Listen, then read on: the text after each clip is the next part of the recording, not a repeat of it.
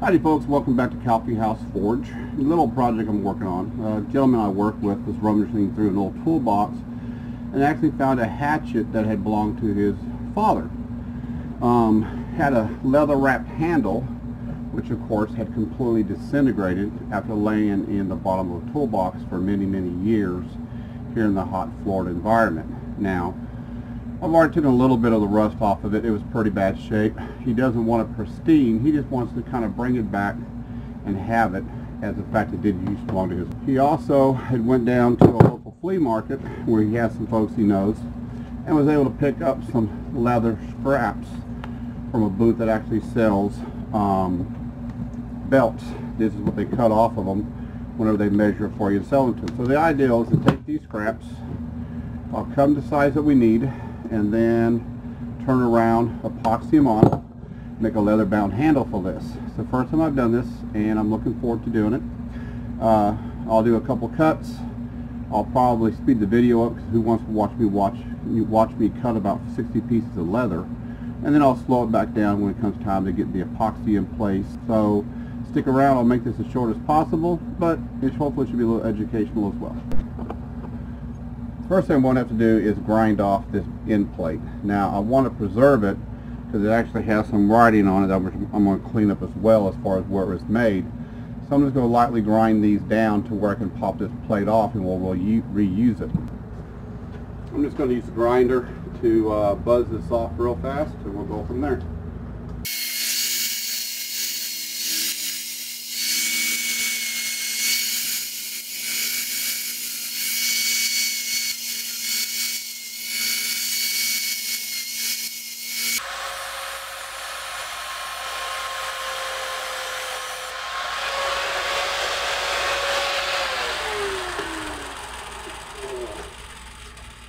I'm going to go a wire brush, try to clean this up and see if I can get the name off of it, of who actually made this hatchet.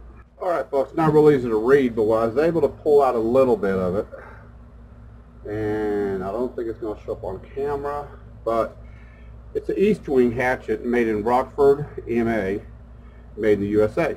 Don't have a date on it, but it looks like it's an Estwing hatchet. Uh, of course, we all know Estwing's been around a long time. They make great tools, great hammers. Um, so we're going to bring this thing back to life. So I'm finding out really this leather is not the best fit, but the fact is free is imagine that makes it really handy. I'm not going to have a lot to work with. Obviously I've got to go this direction and it'll give me about a quarter inch on either side so when I get ready to start grinding or rounding this off, I'm not going to have a lot of fudge room. So it's going to be very interesting. I'll mark these out. I'll start making all my cuts on all these different belt pieces and then we'll go from there. Hmm, let's see. This end piece is two inches. So first thing we're going to have to do is clean up the end of this belt we have a nice straight piece to start off with.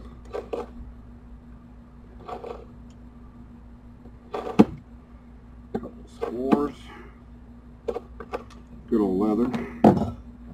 I'll set my gauge actually to two and a half. That'll give me a quarter inch on both sides to work with. So once I get through here, I'll score. I'll straight edge.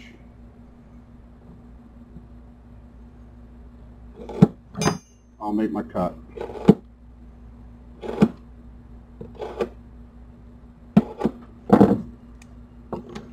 Again. Now watch me do this is going to be watching paint dry. So what I'll do is I'll keep doing these. I'll get my stack of leather built up and then I'll come back.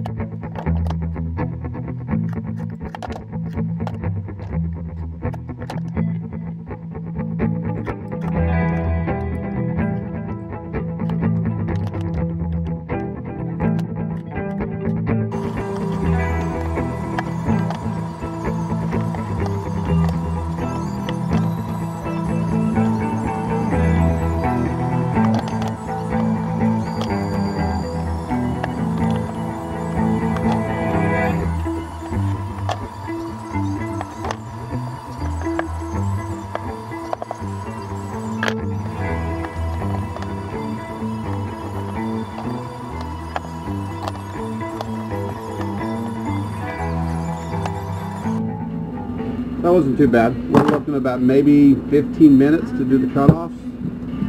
Here they all are. Now comes the next part.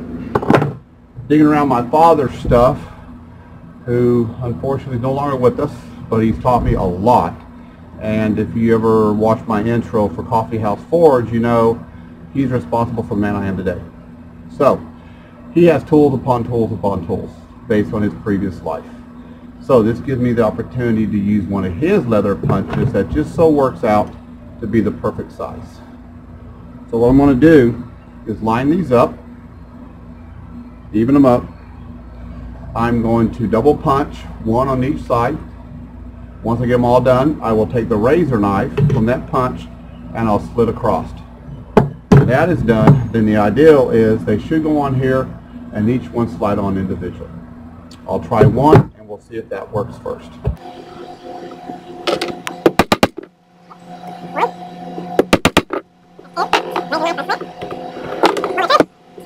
Slide it on. Yeah, they're going to be tight.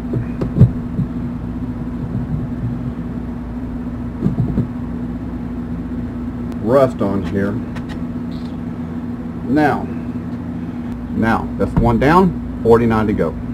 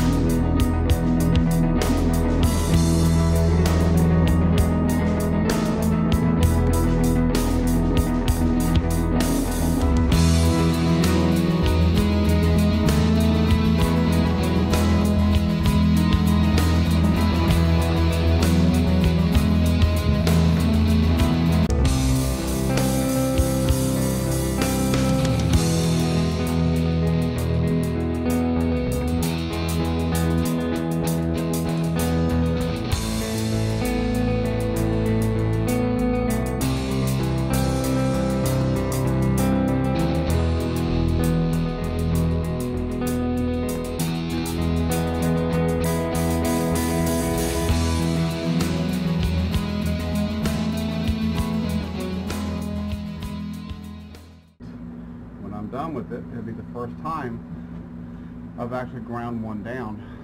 There's a lot of leather there. I got plenty of spacing. It should end up about the same size as the end plate. And when I'm done, I will just ball peen this end plate back around. All right, finally got the epoxy in, got everything ready to go. It's time let's go ahead and get this job done.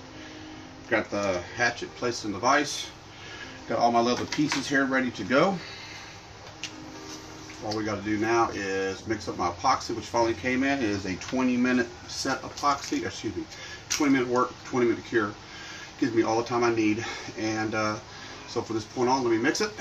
Let's start stacking, gluing, and then I'll turn around, clamp it down, and let it cure. So, thanks for working with the new camera uh, software program on my uh, camera here. Uh, somehow or another, I actually did lose all of the video of me epoxying and um, stacking all these leather rings on this hatchet. Now the good news is, obviously, it is done. As you can see, there it is. probably didn't miss a whole lot because the fact, I mean, come on. All I was doing was slapping epoxy on with my, with my rubber gloves and uh, sticking them on there.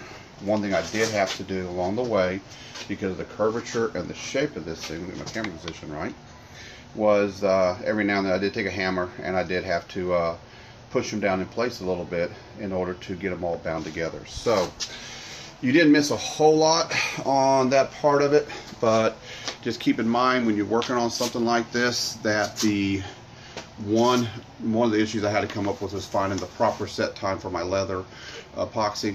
I did it with a 20 minute time, which was perfect. Uh, it took me maybe 15 minutes to stack, probably 10 minutes to stack 51 leather uh, pieces onto this hatchet and get it clamped up.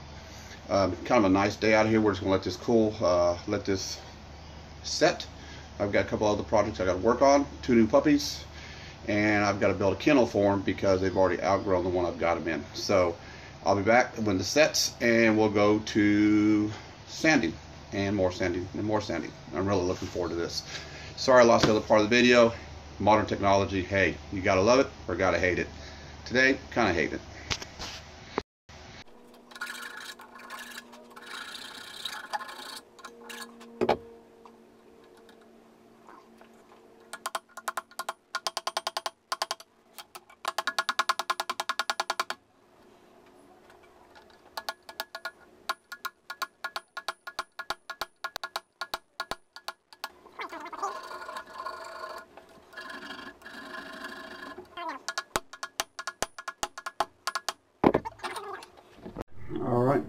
So, got her turned over, got her brought up.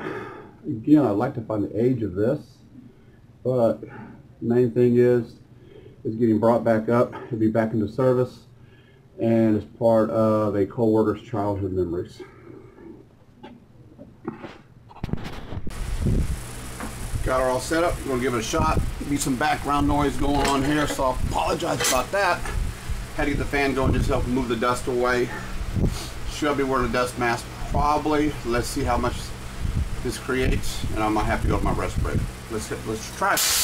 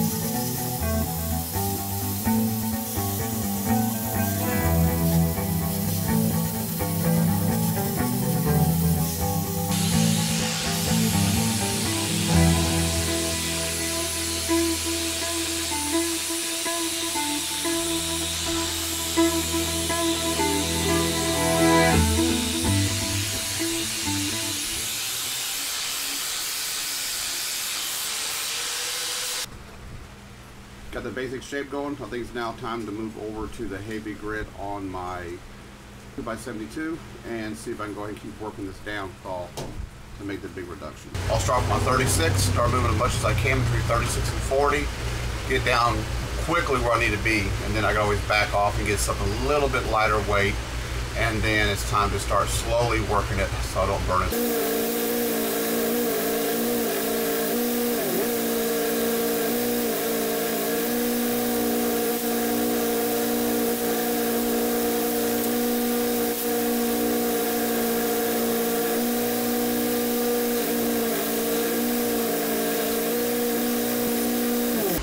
Now you're seeing sparks. Obviously, I'm touching my metal. So what I want to do so I don't mess this up is I'm going to go ahead and wrap it in good old duct tape. And it'll give us protection so I don't keep scarring up this metal. So far, I've done no damage. I want to make sure I keep it that way. Got it all wrapped up, protected this way. I haven't been too worried about the edge part of it as far as me handling with no gloves on. I have I have not put an edge on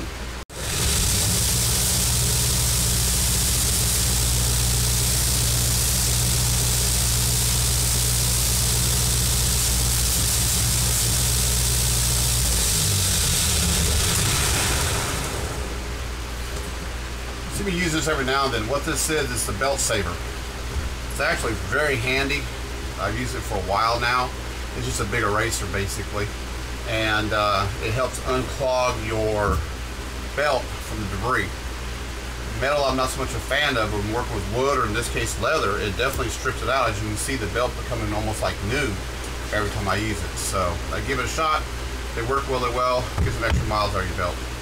This has taken a while. I keep dipping it in water for two reasons. One, I don't want to get overheated and melt all my epoxy. But two, when you wet leather, it also gets hard and stiff.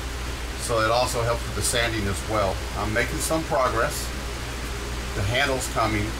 The gentleman who has this is a big gentleman, so I'm not probably, I'm probably gonna keep it a little bit bigger than what originally was. Um, still a whole lot more sanding to go, so I'll keep working at it and I'll be back.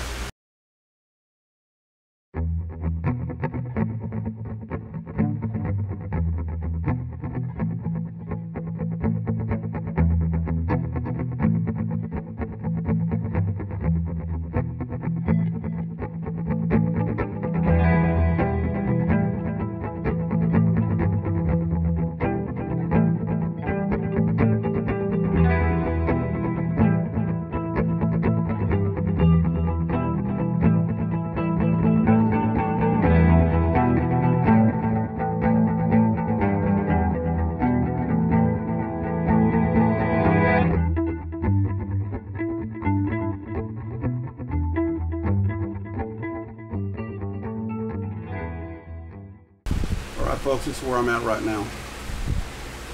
For the most part, it's done. I do want to do some cleanup on it. I've got a 400 wheel polishing wheel on my grinder. I'm going to bring the axe head a little bit, hatchet head to clean it up. And then I will put this on my polishing wheel to go ahead and finish it up and clean it up. Ergonomically, feels pretty good in the hand. The rings come out nice multicolor. The dark spots would be burnt from being a little aggressive and can be reduced by taking your time. But for the edges of this hatchet, it adds character.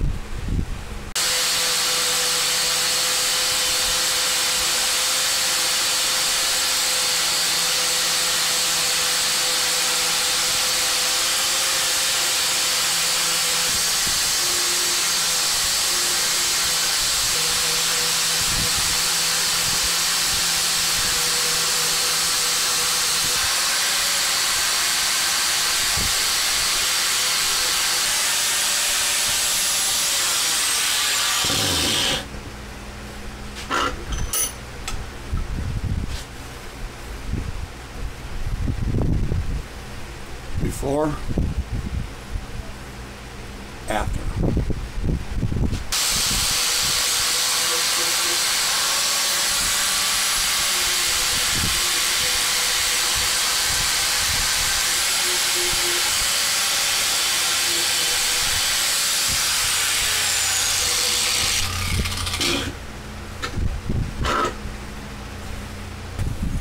for this last step, almost done with it now, what I want to do, even though the handle looks beautiful as it is, I want to make sure to preserve it. I know it has the epoxy in there, but I've got a fresh bar of beeswax. I'm going to use my blowtorch and apply three good coats by heating up the leather, heating up the beeswax, hand rubbing it in. I do have a glove that's basically saturated in beeswax I use for this application. It works very well. Uh, blowtorch did heat up the leather, which kind of gave it more of a darker look. And I think this works out really well with the age of the hatchet and uh, ties it in really perfectly. All right, about three good coats of wax on there, beeswax. This should give us some weather protection on that leather. The gentleman gets it, I know we'll take care of it. He'll be using some good old leather soap on it, leather oil on it as he takes care of it. And uh, I think once I get on the buffing wheel, it will be good to go. So there's folks, start to finish. Took me a while to work on. It's a project I definitely enjoy doing for a co-worker. As I mentioned, this belonged to his father, and now he'll have it to have on for another generation. Profiling come along pretty well. handles. I clean my shop up a little bit. I'm going to go ahead and run this on the buffing wheel one more time to seal it, and this project will be called done.